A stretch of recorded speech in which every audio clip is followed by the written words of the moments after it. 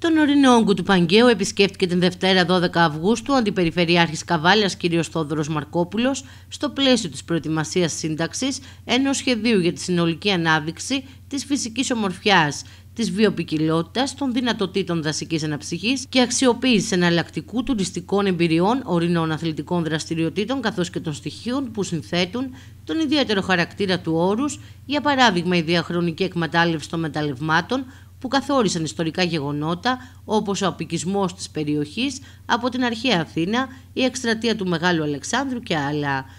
Ο κ. Μαρκόπουλος μεταξύ άλλων επισκέφτηκε το καταφύγιο Χατζηγεωργίου, το οποίο ανήκει και το διαχειρίζεται ο ΕΟΣ Καβάλας 1933 και εκεί ενημερώθηκε για την κατάσταση της κτηριακής υποδομής και τις παρεμβάσεις που είναι σε εξέλιξη από τον πρόεδρο του Ορειβατικού Συλλόγου Θεόδωρο Παπαποστόλου και τον Γιάννη Πρασίνη, μέλος του Διοικητικού Συμβουλίου.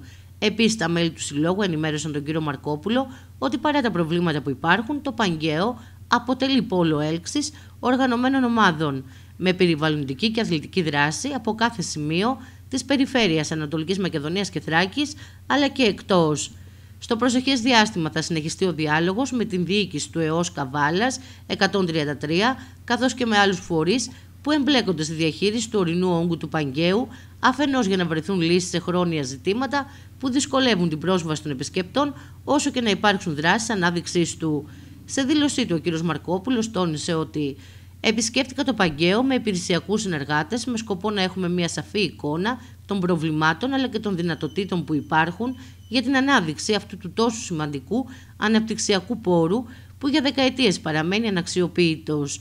Στις προθέσεις της περιφέρειας είναι μετά από διάλογο με τους σχετικούς φορείς να υπάρξει ένας δυναμικός σχεδιασμός για την ανάδειξη του Παγκαίου και την βελτίωση της προσβασιμότητας σε αυτό.